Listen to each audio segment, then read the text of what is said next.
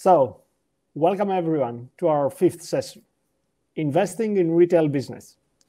So in this session, uh, we will have two speakers who will discuss the fundamentals and economics of a coffee retail business from an investor's perspective. Our first speaker is Burak Alici, CEO of QVIDTVM. Burak has been in the finance sector for more than two decades. More, more recently at Morgan Stanley, where he spent 12 years in the investment management division. He had the pleasure to take part in the growth of specialty coffee industry with investments ranging from founder-led early-stage roasters to large publicly traded leaders in the space. Burak is also serving on the SCA board as our treasurer. So please welcome Burak. Thank you, Anis. Uh, Hi, everyone. Uh, pleasure to be here. Uh, so, as Yanis said, my background uh, is in finance. Uh, it's in the dark side, if you will. Uh, I recently launched my own investing firm uh, with my team to be a partner and shareholder to great businesses and, and great entrepreneurs. Um, and as Yanis said, I have broad experience investing in restaurants and coffee companies around the world. Actually, currently, we're partners in two founder led wonderful um, multi-channel coffee businesses, one in California and the other one in Italy. I currently live in Texas with my family uh, and honored to be involved with the SCA as your fellow board member and treasurer. So without ado, further ado, let's jump in. So why coffee?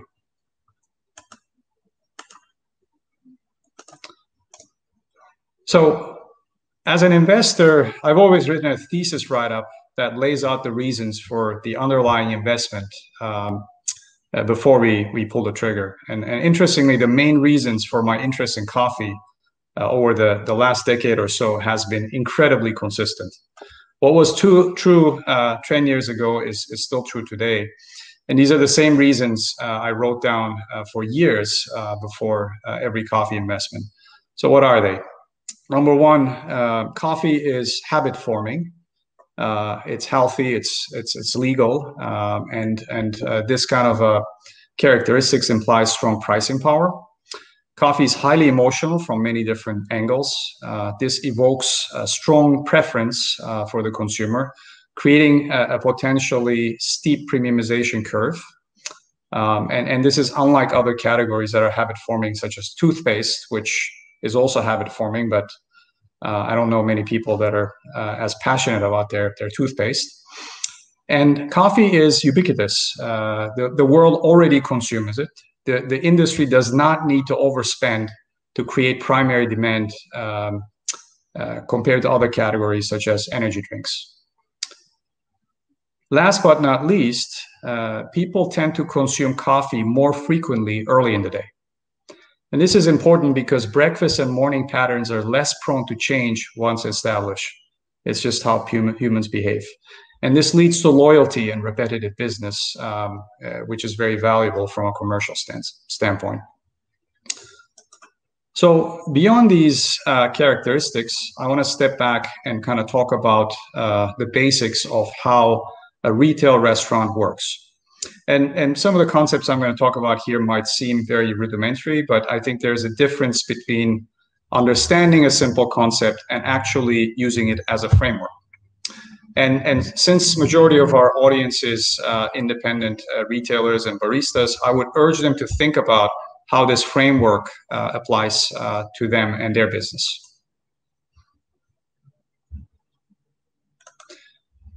So in its most basic sense, uh, if you do look uh, at uh, retail uh, restaurant investment, the first item that you need to consider is simply how much cash is coming out of your pocket to get the business up and running, which is the takeoff stage. And this is a balance sheet item. Uh, this is uh, the capital expenditures, the pre-opening costs, could be marketing, other soft items you might have to spend money on. Uh, reduced by tenant incentive uh, uh, allowances. Uh, sometimes the landlord reduces your capex. Uh, added by, in some countries, we do have key money where you need to pay the prior tenant to get out and inventory. So you have a total cash investment amount. And the second relevant item is your operating model. And the, the, these are kind of the metrics you need to tune at, at cruising altitude. And as you can see, this classification here differs from traditional accounting, uh, but most in the industry believe that this is more intuitive for operating purposes. So the reason this is more helpful than traditional accounting is that uh, you know you're focused on the major expense buckets. So you keep your eyes on what's controllable, and the profit is kind of your residual, right? So you have food cost, which for a, a, very good retailer should typically run should run below uh, 30% as a as a portion of revenues. Labor costs in the US, again, 30% is a good ratio to think about. Um, it could be higher in areas with uh, more heavy, heavy uh, labor laws, such as uh, Europe. Uh, Italy is an example. Occupancy cost uh, should uh, not exceed into double digits if possible. I've seen situations that are as high as 20%, but unless it's an isolated circumstance, it's very hard to um, be economically viable at, at high levels. So if you add all of these um, expenses, uh, you kind of uh, get to a four-wall store level margin. And the simple uh, calculation of a cash on cash return is the, the, the four-wall margin divided by your total cash investment.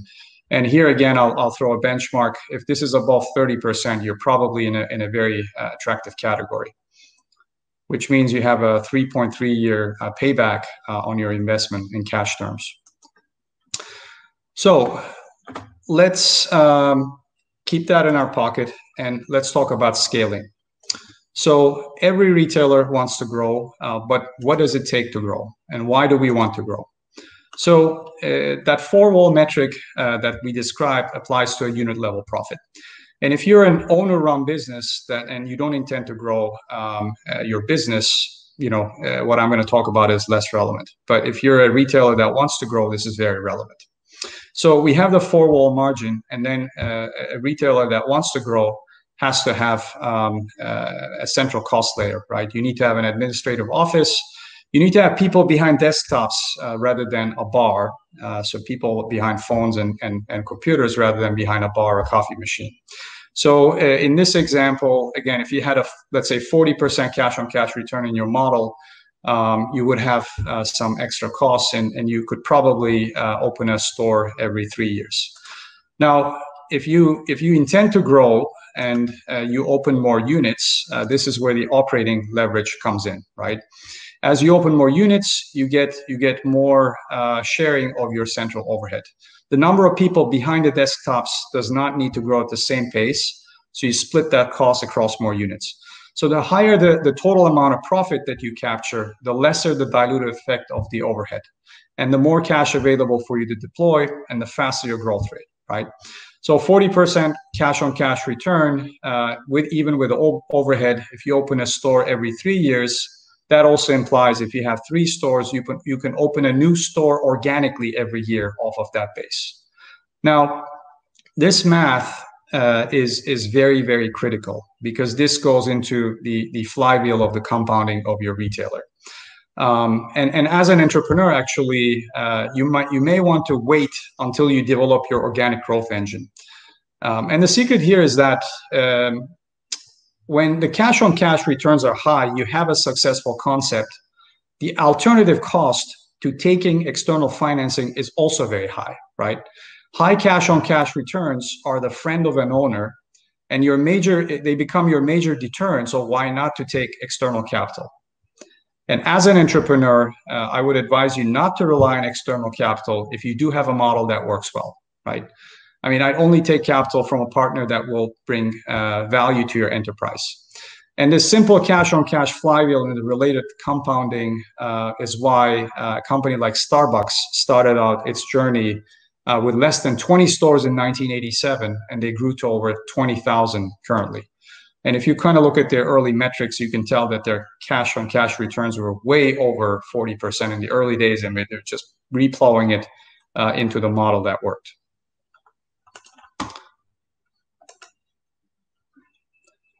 Of course, growth, uh, it's easy to talk about growth, uh, but having a framework of scale and scaling a framework are completely uh, different challenges. So scaling a hospitality business is all about culture. It's all about culture and it's not about capital.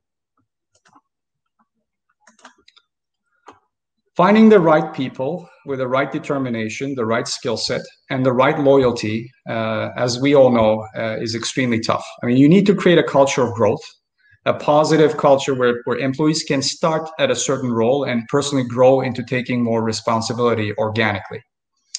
Growth is an exciting thing. Uh, people want to be inspired. People want to rally behind ambition, and it goes hand in hand. Uh, you know, growth will attract the right people. But the glue here is culture you need to create a fair workplace where the people want to stay, where people enjoy serving their customers one cup at a time. Without this, the growth uh, uh, equation is not going to work.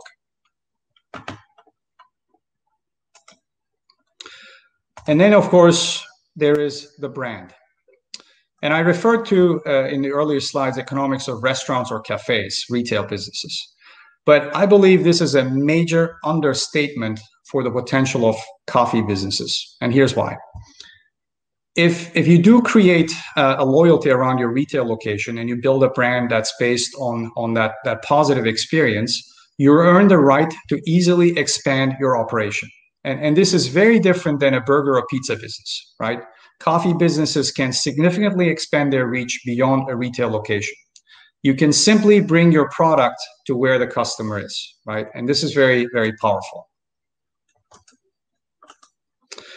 So if if if you do have a successful group of coffee stores, you've most likely built a loyal following.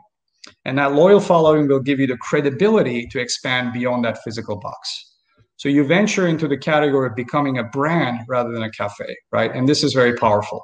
It's a deserved status. It's a very valuable status.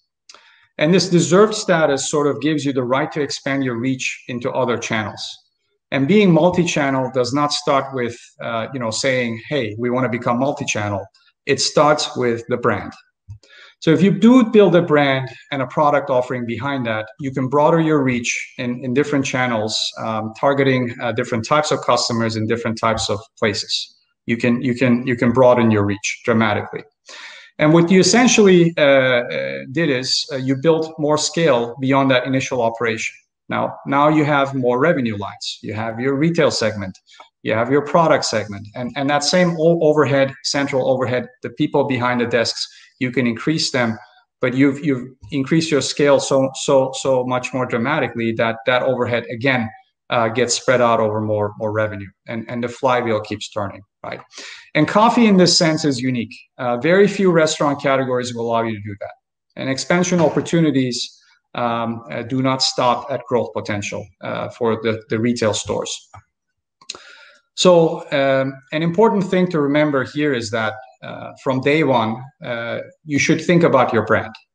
You should nurture it, you should build it consciously, and you should be active with your customers. You should have a consistent message and, and imaging, uh, especially in social media, where, where these days a lot of people uh, kind of set their brand notions. And of course, in the digital world, as many of you might know, we typically track different metrics as a proxy for unit economics. Um, and customer lifetime value here uh, that, that we refer to is the cumulative discounted contribution margin from a customer and upfront expected value of that customer, if you will. And customer acquisition cost is the sales and marketing costs you incur to gain that customer. And in a way, this is the digital equivalent of, of that cash on cash ratio that we discussed. The reason we measure this at the customer or sometimes at the cohort level uh, in the digital world is simply because we have um, detailed data, right? Most physical retailers do not have uh, customer level information, uh, of course, at, at their own detriment, right? And technology leaders such as Sephora or Starbucks um, that have linked physical stores with customer information are able to run analysis of this sort, even in physical retail locations. So this metric can be applied to any kind of recurring service um, or, or, or, product. And again, as a, as a rule of thumb, a ratio of anything higher than three is usually considered to be high.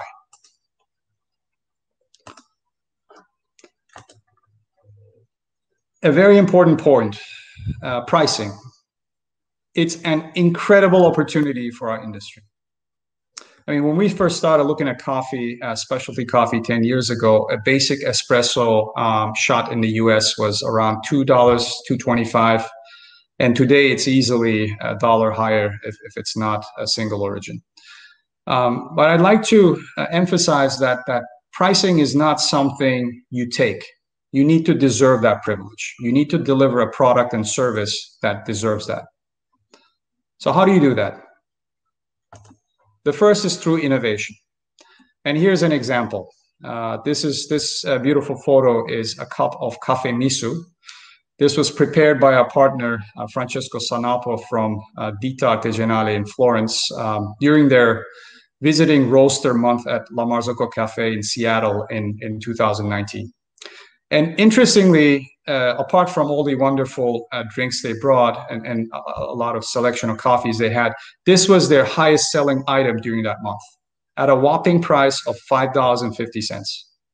I mean, it's something people had not seen before, and they responded to that with their choices, right? And, and in our industry, we have very talented baristas behind every bar, and I'd encourage cafes to experiment more. Customers will appreciate that. Innovation, it matters a lot.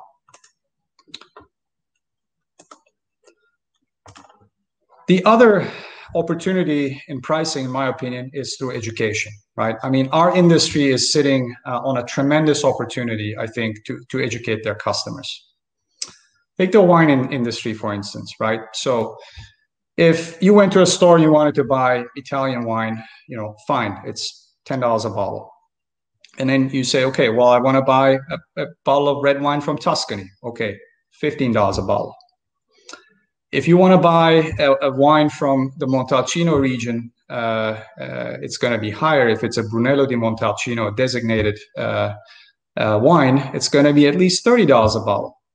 But if you come in and, and somebody says, okay, it's a Brunello di Montalcino from Poggio di Sotto, okay, you, you pay $100 a bottle, right?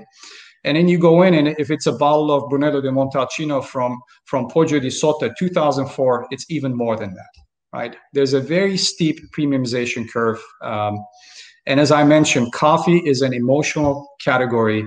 We do have an incredible opportunity uh, to educate our customers. And, and this is also critical, not from a commercial stand, standpoint, but educating our customers will trickle down the value chain. Everybody in the value chain, all the way to the farms, would benefit from this. So uh, please educate your customers. It benefits everybody an unpleasant topic. I'm not going to say uh, much on this. Um, I think uh, my friend Will will expand on this. Uh, but three things uh, in, in, summary that I want to iterate. Um, uh, in a few quarters, travel and traffic will start. Uh, humans will come to normal, more normal patterns. this is this is temporary, as painful as it is right now. It is temporary.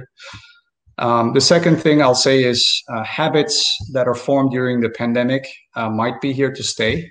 It takes five weeks for a habit to, to really uh, cement, and, and we might be keeping some of our habit habits. It might uh, be relevant for your business inside a shop or, or the way consumers interact with a brand.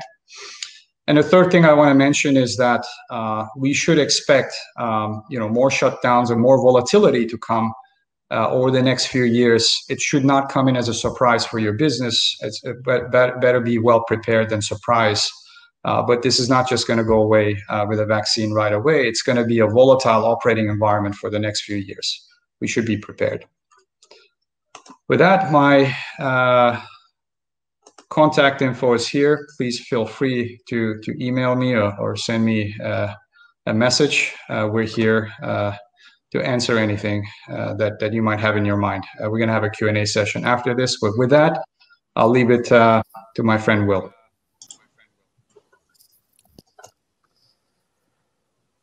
Thank you so much, Burak. Um, I, I, would like to say, um, before we go to questions, we're going to bring our second speaker, Will Slabaugh. Uh, Will is the Chief Investment Officer at Dobbs Brothers Management, Dobbs Brothers Management largest interest currently include like 50 Wendy's restaurant, 11 Slim Chicken restaurants, and three Anheuser-Busch distributorships. Prior to join DBM in 2020, Will was with Stephens Corporation uh, for 13 years. In addition to his role as Associate Director of Equity Research, Will was the senior restaurant analyst for nine years, where he provided research coverage for over 30 publicly traded uh, restaurant companies to institutional investors. Prior to that, Will worked in firm's corporate finance decision, uh, division, and it's a pleasure to have you with us, Will. So the stage is yours. Thank you, Giannis. It's it's a pleasure to be here. Thank you for, for having me, and, and it's a pleasure to be with all of you. Um, and it's an honor to, to follow uh, my friend Burak. Uh, so so I'll get started here, and and, and um, similar to Burak, I'll keep this fairly high level, and um, look forward to answering any questions that you may have um, after we're finished. So, uh, so as as Giannis mentioned, my background is uh, it, it, it, began in the um, in corporate finance, and then I moved fairly quickly into the public markets. So, a lot of my background for um, for over a decade was in the public markets, following primarily restaurant companies, uh, and and the larger coffee chains were in that as well. So, um, so I dealt with a lot of the, the publicly traded businesses. My current role is um, is both overseeing our current investments, and Giannis mentioned um, we're one of the largest franchisees in the Wendy system. Uh, we are the largest franchisee in the Slim Chicken system. Um, we're always actively looking to both invest further in those systems because we believe in those, and also to find the next great brand to add to our portfolio because we feel like we have a great um, a great back office and great team, uh, great leadership, and that that's similar to what what Burak talked about a minute ago. And um, you know, once you have that great G&A structure, which we feel like we do have here at DBM, we can add on another brand and really stretch out our G&A because we feel like we have that great human capital to do so. Um, so um, with that, I'll, I'll launch into um, to, to sort of the, the coffee landscape as I see it um, from the lens of, of many investors. And the reason that I put many investors is you can think about it this way, at least in my opinion, that the, the majority of investors that you're going to deal with, um, they invest across the many industries. We tend to see things fairly simply and often from a very high level. So while this can often make us guilty of not gaining a full appreciation of a particular business's finer points, it also keeps us out of trouble. Um, and by that, I mean keeping us from one, competing against an industry behemoth that we don't have to, um, or two, fighting against an emerging or a clear industry trend. Um, so that's that's sort of a you know the top down way that most investors are going to look at things. So it will come to no surprise to you at all that in my experience, investors, both public and private, uh, see the retail coffee world as Starbucks versus nearly everyone else. Um, there are many exceptions to this, but I think that's the first question that most are going to ask as they think about the retail world in, in coffee. Uh, Dunkin' does extremely uh, well in the Northeast. They've made some nice inroads um, in, in many other states. I believe they're focused right now on 15 other states in terms of, of penetration. Um, there are obviously many other smaller chains and local coffee shops that have com- competed successfully against Starbucks, but understanding your positioning versus the industry leader and not just globally and, and in the country, but also in your region is, is extraordinarily important. Um, here are a few quick stats to help make this point, um, and just why I think a lot of guys are gonna are gonna focus here um, when when you start talking about positioning. Um, when we think about Starbucks and, and Dunkin', um, and again, I'm, I, I, probably know too much about these uh, larger brands, given that's been a lot of my life over the past uh, decade and change. Starbucks holds about a 40% market share of U.S. coffee shops, uh, which is an enormous number. That's you think about McDonald's is in the 30s. Um, uh, sorry, not quite in the 30s, and, and most other um, most other leaders in their industry are below that. So 40% is extraordinary, and, and, a higher market share of the dollars because their average unit volumes of their stores are higher. And my guess is it's probably going to be closer to 50% once it shakes out from last year. So nearly half the dollars spent in the industry um, are going to one player. So that's extraordinary. We need to know how we, we compete against that. Um, the second stat I would tell you is that pre COVID, Starbucks and Dunkin' combined to account for 80% of new coffee shop openings in the US, four out of five, which is another extraordinary figure. So market share continuing to go their way after nearly, again, just one of the players owns owns half of it. Um, so I, found those two stats um, pretty interesting. Um, so as we think about sort of let's continue that and say, okay, we know all these things. How's the landscape changing because of last year, or is it changing? I, I believe that it is. I believe strongly that it is. Um, so we know the consumer is changing in, in what he or she values. Those changes, in my opinion, were only sped up with COVID's impact during 2020. Um, I, have broken these down into a few things. The first thing I tell you is the coffee consumer has always cared about convenience. Convenience has been a big deal. Burak mentioned that if you're if you're early in the uh, in the in the morning, if you're part of that morning day part, it is more habitual. Um, the morning day part has been the fastest growing day part within uh, quick service for many years, um, and that's because once you form that habit, it's extraordinarily hard to break. Um, and and whereas with lunch and dinner, you typically um, choose different options day to day. So that convenience has always been very important. Now the consumer cares even more, especially if this increased convenience includes drive-throughs and technology. Um, technology is table stakes, but it's also a convenience. Uh, just look at the success of drive-through only brands in the past few years, including um, you know, in my home state, Seven Brew. Um, Dutch Brothers has been very successful. That convenience has really, um, again, become table stakes here. I think. I think in the industry. The second thing is over the past two decades, the consumer uh, has learned to appreciate and increasingly demand quality. Um, mentioned the pricing power that the industry has, um, and, and he quoted some espresso pricing figures. There's so much innovation happening in coffee now, where that that wasn't even dreamed of five years ago, much less ten years ago. Um, the coffee consumer cares about this now, and, and quality doesn't just mean Arabica beans; it means the best cold brew, nitro, espresso-based beverages, teas, also brewed coffee in town. So you've got to be able to compete at, at all levels. The third thing is the coffee consumer cares much more about sustainability than the typical US consumer, and this is only increasing. So, why is that? He or she is typically younger. Um, he or she is typically more highly educated. He or she uh, is more engaged in world affairs. Um, 10 years ago, we had no idea where the coffee we consume was grown. Today, we can trace it to the farmer. Um, we actually had a call with one of the largest distributors uh, in the world last week, and they talked about how they're already doing this today. And pretty soon, with every bag of coffee that you buy in the grocery store, not to mention cup of coffee you get from a retailer, you will be able to tell which farmer grew that bean. Um, and, and the consumer cares about that. And not just because they want to feel good, but also it, it's uh, um, from for health purposes. We saw the traceability being an important uh, issue for Chipotle a few years back. Um, it's, it's just it's becoming important for many many reasons. The fourth thing I've got here is that the coffee consumer wants coffee and tea based beverages throughout the day. With very few exceptions, the days of thriving as a morning coffee stop are over. And that's a good thing. Um, this is going to separate um, sort of your traditional coffee house from what I believe is going to be the coffee shop of the future. And that is, we can sell you something that you want throughout the day. Um, it, it's going to be heavier in the morning. That's just that's just um, the way life is right now. However, um, people want nitro cold brews in the afternoon. Uh, people want something that's going to be a little bit different, maybe after work on the way home. Uh, that wasn't the case five years ago, ten years ago. It is it is increasingly the case, and that's going to help you leverage your rent, leverage your operating costs uh, in general um, a lot better. So we think that's important, and, and making it making the space, by the way, a lot more interesting to investors um, as you can sort of spread those those sales out and not have to really be extraordinary in one day part. So it's a bit of a diversification play as, as investors might think about it. Um, so so the, the, the last slide I have on here, and again, I'll try to uh, keep this short and sweet. As we think about criteria for private investment, and this is something that we're doing every single day. Um, we talk a lot about numbers, and I'll be happy to, to go into more detail there if you care to. Um, but the first and most important thing is the positioning of the brand. Um, what I mean by that is, how do you stack up against the top national regional, local competitor. This is going to include product quality, pricing, brand perception. Um, and I'll, I'll, talk just one second about pricing. Brock had a, a section on that, which I, I, totally agree with.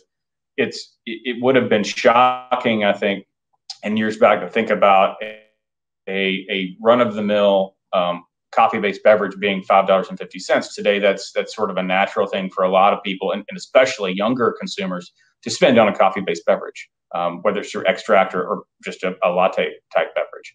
Um, this is something that I think um, is is important to see that the consumer is willing to spend it, but also that you have to really provide that quality to earn that dollar.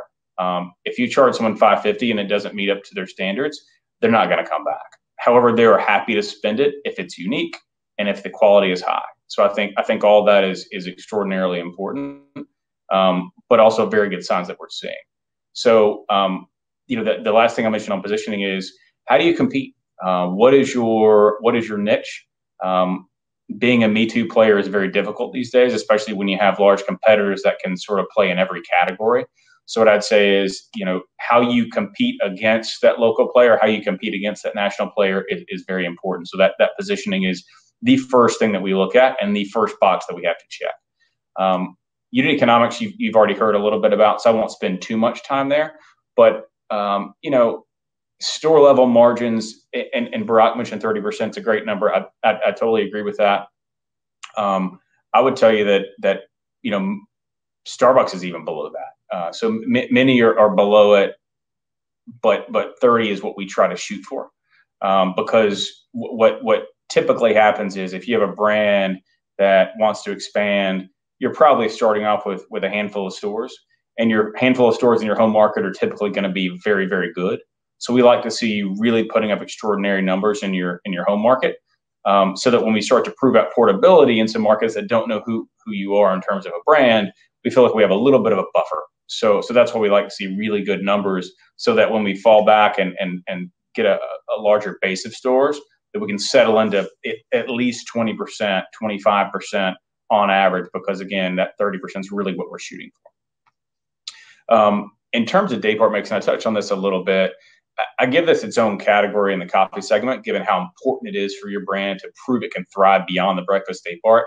Do you have a legitimate lunch or afternoon business? Is there enough evening business to warrant keeping your doors open? Uh, again, considering coffee's traditionally limited day part exposure, low average check, checking this box is critical. Um, even though percent margins are typically high in, in the coffee space, we need to be able to, to spread out that traffic throughout the day and build traffic throughout the day. So where, where I typically wouldn't put that in terms of criteria for investment in the coffee space, we need to be able to see that. Um, the fourth thing is portability. Many new brands perform well in their home markets, whether they're at A plus real estate locations or, or off the beaten path. How well do you do in newer markets with no brand presence? Um, we're, going to want to see that before we put any, any dollars to work. How consistent are your volumes in similar quality sites? So if I'm at Main and Main Street in Oklahoma City, and I'm at Main and Main Street in Kansas City, how do those stores look in terms of volumes and in terms of margins? Um, so, so those things are, are, extraordinarily important too. And then the last thing I put on here is is convenience and technology. Technology is is table stakes. You know, how good is your app? Um, I, I think that's that's something that that we're going to ask today that we wouldn't have asked a few years ago, and and and you know last year again just sped that up. What is your mobile mix? Um, because that customer is going to spend on average. Some will tell you 15% more, some will tell you 30% more, but they're going to spend a lot more. And as we all know, that single customer spending more money, that that flows to the bottom line at a much higher percent margin. So so we want we want that mobile mix to be as high as possible. We want to plan for it to go even higher. Uh, what percentage of your business is drive through or curbside?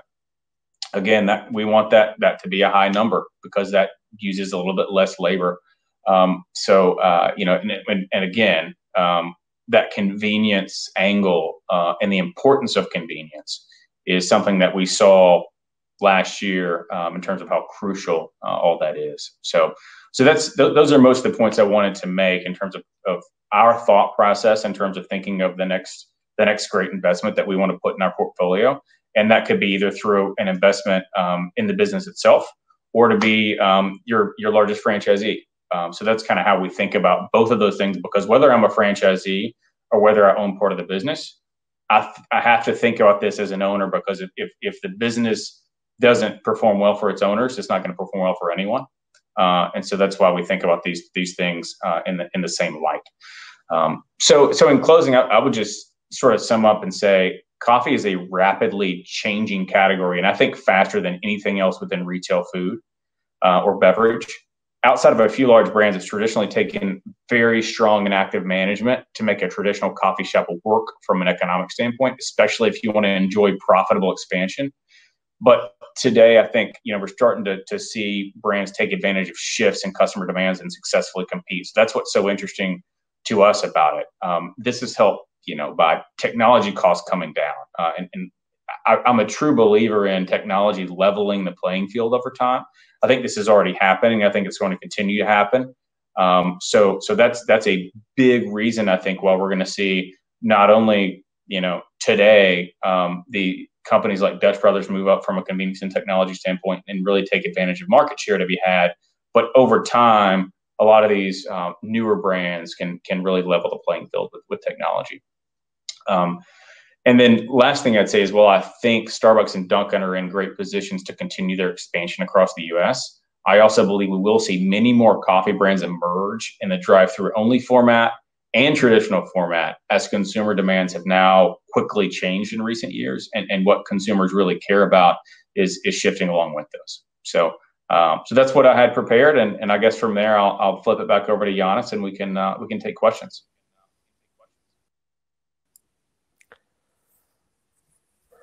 Thank you so much, Will. Um, I think Burak is going to join us. I want to thank you actually both for for taking the time. Um, um, you shared some very interesting insights, and I would like to to start coming into the questions that we have been getting from from the audience. But I would like to start with one thing. Like over the last year during the pandemic, we've seen a lot of things happening when it comes to curbside pickup, takeout, delivery and we've seen like companies uh, growing like DoorDash, Uber Eats, uh, and they are taking a significant margin out of the the retailers, the, the retailers, the coffee shops.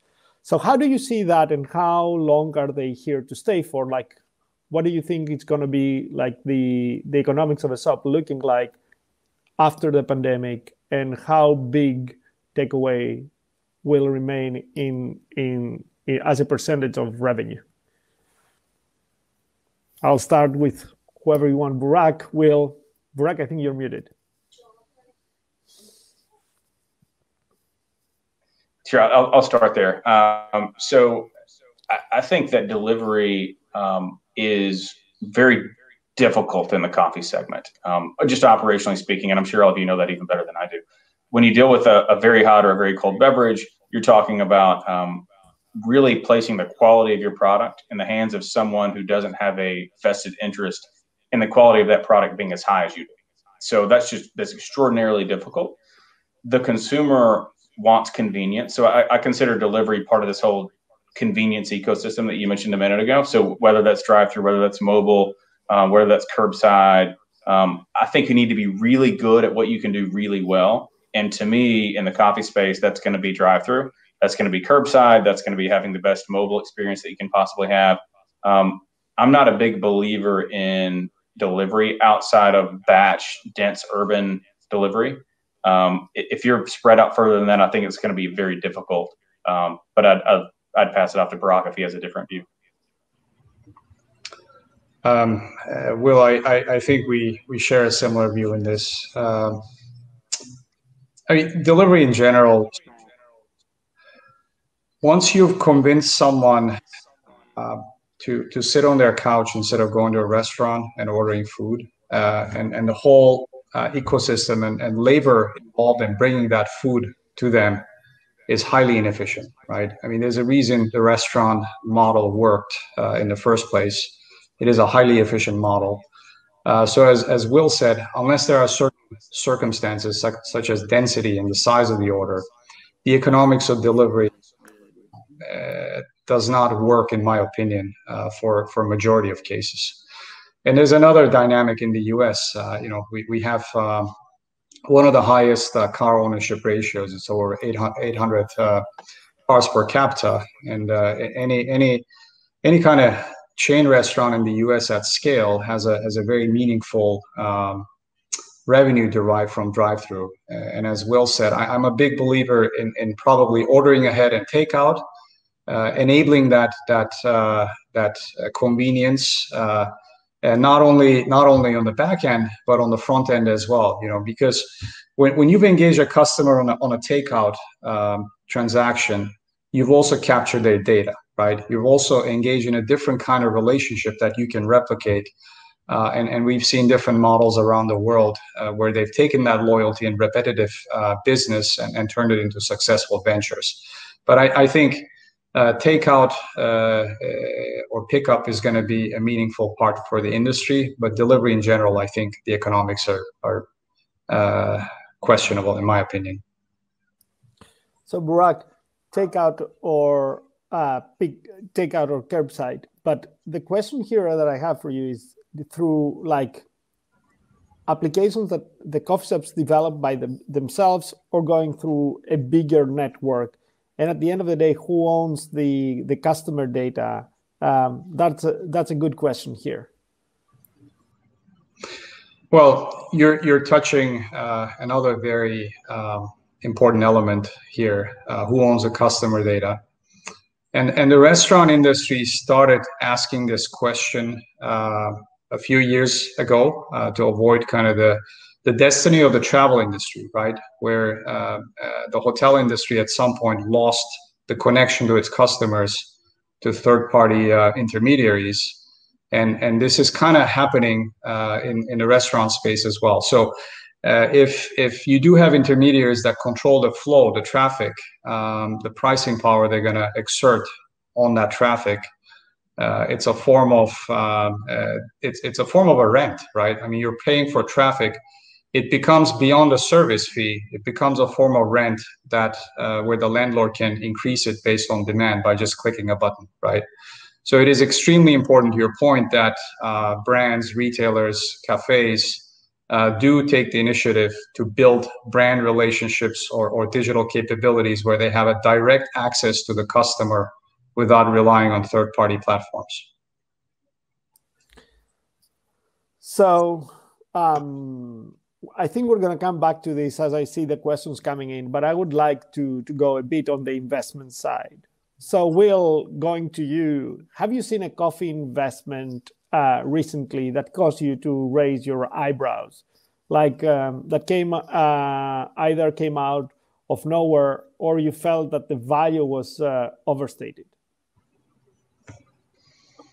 Um, I've seen a, a, handful that really calls me to raise my eyebrows lately, um, and and in a good way. So, um, without without getting into to too much detail, um, what's been floated around lately is, is, is a couple of different things. One is the drive-through only concept, which I mentioned a minute ago, um, and, and, we've seen some really eye-popping numbers there. Uh, and, and, you want to be careful as an investor not to say, not to just dive, you know, uh, headfirst in and, and and assume that that 2020 is going to continue forever, because as we know, certain things, certain parts of it will, and certain parts of it won't. But what's what's really beautiful about that concept when it works well is it's a low cost to build. So I can get in for four hundred thousand dollars, three hundred fifty thousand dollars, six hundred thousand dollars, whatever the number is, but a, a lower than average build out. I've got less labor. I've got a slightly smaller store to keep up. Some operating costs are just simply lower. My fixed costs are lower.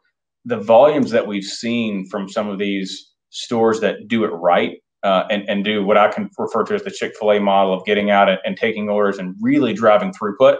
And again, throughput that goes, that works back into convenience. So I'd rather spend money on my people taking care of you when you know you can drive through very, very fast, but also get that high quality cup of coffee versus spending money on DoorDash. Um, so if, if you get out and, and you're out in front of the store with your iPad taking orders, you know, we've seen some really eye-popping numbers, both on, on from a revenue perspective and a profit perspective from some of those brands. Um, we've also seen some um, some traditional coffee shops evolve the model a little bit and try to be a little bit more than what they were. And by that I mean improving their food offerings, trying to expand a little bit more into lunch um, and uh, and and afternoon. Um, dinner I think is still tough in this space, but lunch and, and afternoon. So and that's that's worked well in particular markets but i think with the latter you have to be very specific on uh, the type of market that you go into. So um, so yeah uh, you know appropriately those those drive-through only uh, concepts that i mentioned a minute ago are um, asking for very high valuations. And again they, they've done extraordinarily well. Um, but i think there's going to be room to expand concepts like that across the country. And and the ones that i mentioned in terms of more, more traditional that are, that are expanding what they do that tends to be a little bit more in my mind a market by market basis. Um, and it's difficult to stamp out you know we can build x number of these in the country. That's a, that's a, a tougher investment for me to underwrite at scale um, than the drive through only model which to me is is what is, has emerged as hey this could really be something very interesting so to build on that, uh, and Burak, I'm going to come to you. You were talking about customer acquisition and the cost of customer acquisition what do we think about subscriptions? I think over the pandemic, we've seen a boom in subscriptions and and different approaches on the subscription model like it's not only your coffee for home it's like a subscription model for coffees that you're taking throughout the month by visiting the store or or doing takeout what do you think about that? Because that speaks about customer loyalty and and a high customer i would say retention rate. Sure. The um, well first of all the subscription business model is a very powerful one, right? Uh, and and not only because you get repeat business, but also uh, by a simple fact that that you can quantify the value of that relationship uh, to some level of accuracy, and that starts with being able to track the transaction and track the customer. But I, I with with the popularity of that business model, I, have seen a lot of people also stretch the definition of what's a subscription, right? I mean, traditionally we've looked at things that have um, a 90% annual retention rate as things subscription worthy, right? 10 year relationships. We're talking about enterprise software. We're talking about elevator maintenance contracts, right? Things that have really long duration um, uh, angles to it. Sometimes contractually, sometimes not. Uh, but I, I, think more recently in, in the consumer space, especially, I'm, I'm talking more broadly uh, beyond coffee, we've seen a lot of models where, where they take a traditional retail, they put a subscription hat on it, and suddenly um, you're allowed to uh, talk different um, valuation multiples rather than profitability, right? So uh, if if if there's inherent um, repetitiveness in the model and coffee is actually one category uh, if you have if you have a machine in your in your house uh, if you have a grinder you're you're you're, you're a repeating uh, repeating customer you know in that case it makes sense. There are some occurrences that it makes a lot of sense. But in general uh, you take a good idea and you go extreme it can become a bad idea. So in general I, I like that business model but i've seen a lot of people stretch it as well. Interesting. Um, so you talk about multiples on the business, and I want to ask the question to both of you. So um, I'm seeing a question here that says, "What kind of uh, coffee businesses valuate or valuation metrics are you seeing on average, like EBITDA or cash flow multiples? And what is your preferred metric?"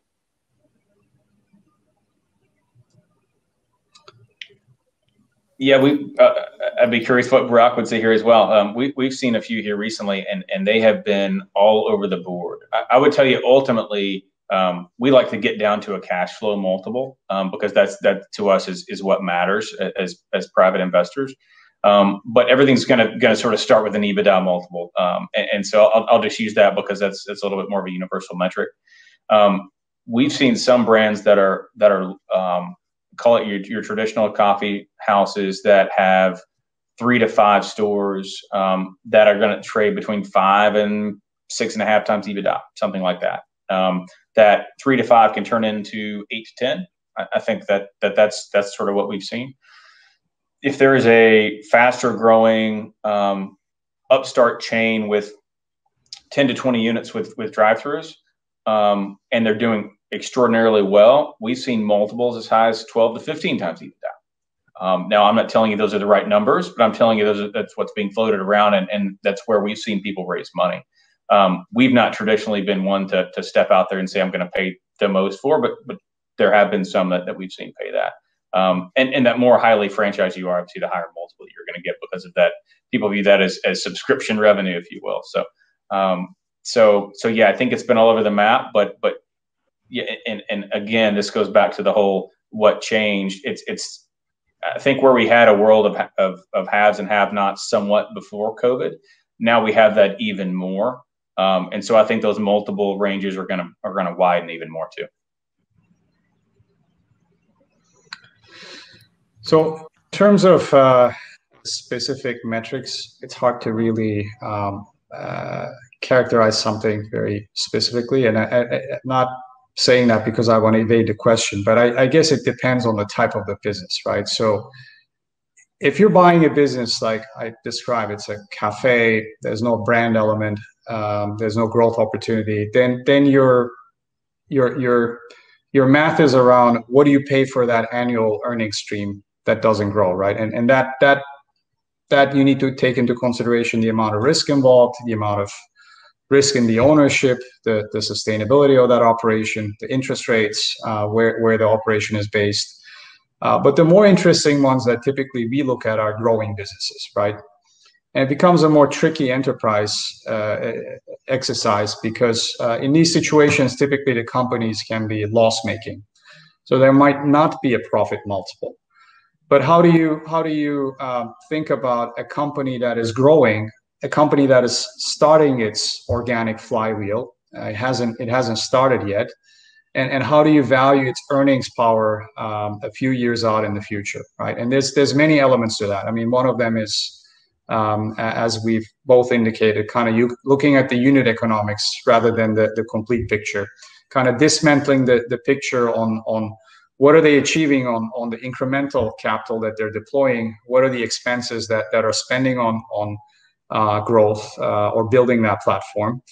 Um, and, and the answer is never that clear, but you do need to look out a few years to really understand the potential uh, of, of a unique uh, compounding uh, type entity. And the other thing I'll mention here is uh, there's an intangible of a brand, right? So if you're looking at a, a chain of restaurants um, that's that's 10 units that does not have a brand angle, I would look at it very different than a, a chain of uh, cafes uh, at 10 units that that does have national or international recognition where you can kind of build those multi-channel uh, other revenue lines beyond that right? So what do you pay for that? Um, and of course who's running it right? I mean with the right management team uh, you take that that uh, model that we described and wonderful things can happen right? But it's hard to really put a multiple on that. Uh, we, we probably use some sort of owner earnings at a normalized level or future level. Um, but usually it's very different in every case. So to further, um, like we have a question here that will speak into what you just said, Burak, um, in a different kind of angle. There is a question saying, curious, is there a sales mix in the cafe that you would like to see between coffee, food, RTD, and other?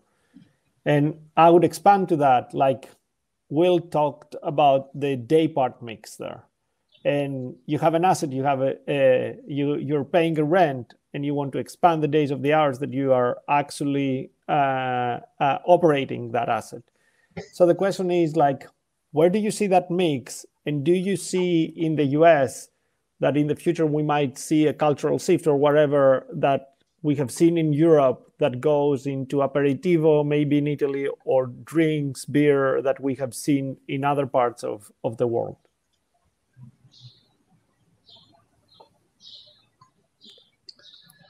Maybe I'll, I'll start with that. Um, so, um, you know, that is a very important question uh, because it, it kind of goes to the heart of the operating metrics that I was mentioning.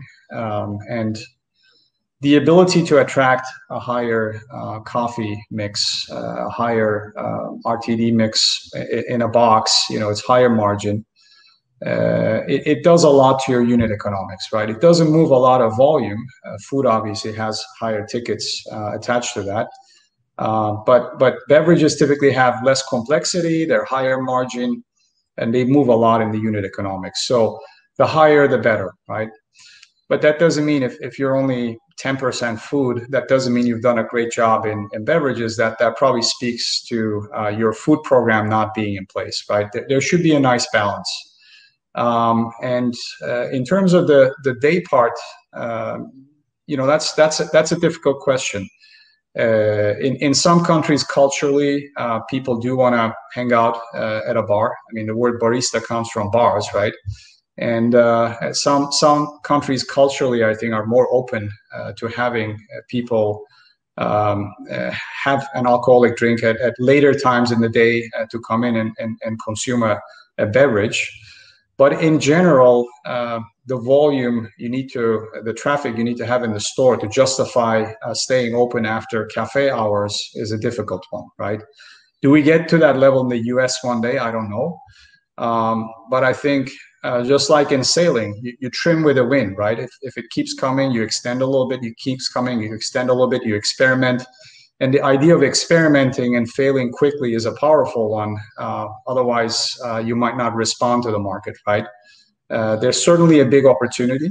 Uh, these are these are shops, cafes that have uh, existing investments in place. they have existing systems, existing teams, and some of the concepts could probably support a later day part, but it needs to come with experimenting.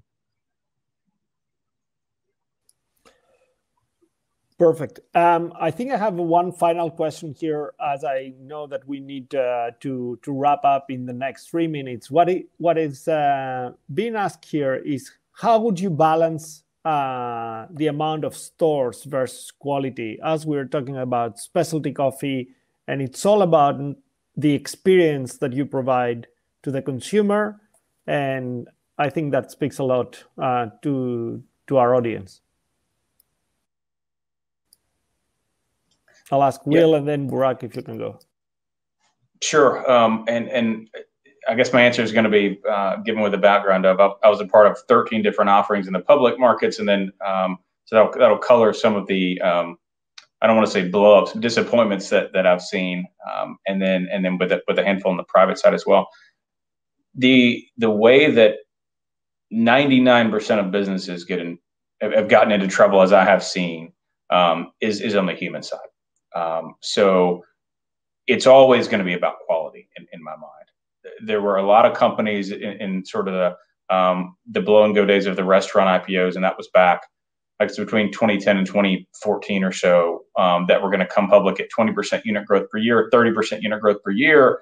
Guess how many of them did that for more than two years? None of them really did. Um, and that's because it's very difficult to find the right person to trust to run that business um, and, and not just trust them but that have the experience to run the business so, so i think it's always about the general manager of that business first and and um, are they incentivized properly? Meaning do they have real ownership in the business? So i think that's by far and away the most important thing. You can only grow as fast as, as your people will allow and developing those people internally i think is the most important thing that an owner can do. I fully agree. You could not have said it better, Will. Um, it's it's uh, it's one way a business can really it's one way you can really mess up things by by trying to step too too much on the the gas pedal.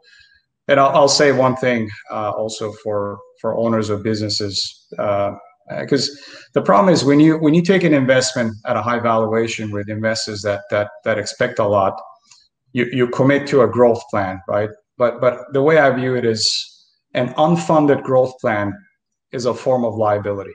Right? It's the worst form of liability. It pushes you to to do things beyond your own pace, and that can cause a lot of problems. But uh, and that's why you take the wrong partners or you underwrite to the wrong growth plan, uh, it can cause a lot of problems. It's probably the the, the main reason why uh, otherwise successful businesses fail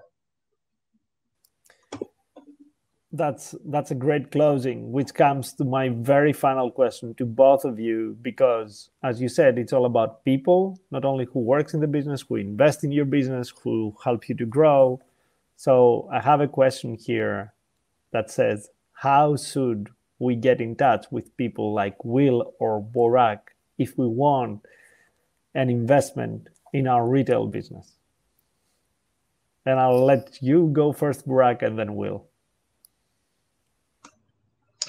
Uh, well, my, my, my contact info was on the slide, so feel free to shoot me an email. Uh, we again we, we we get involved with very few uh, companies, but more than happy to to take a look and and uh, try to help. Uh, it's it's it's being part of the community. So definitely shoot me a message. Yeah, I would echo those same sentiments. Um, love to hear hear from you and, and, do whatever I can, and and, and if we um, have a chance to partner, then that could be phenomenal as well. My my contact information is Will W I L L at Dobbs Brothers D O B B S Brothers.com. So feel free to shoot me an email as well. So I'd like to thank you both. It has been a pleasure and an honor to have you here today, and um, I really enjoyed the session. and I hope you did the same. Thanks so thank much. You. Thank you so much.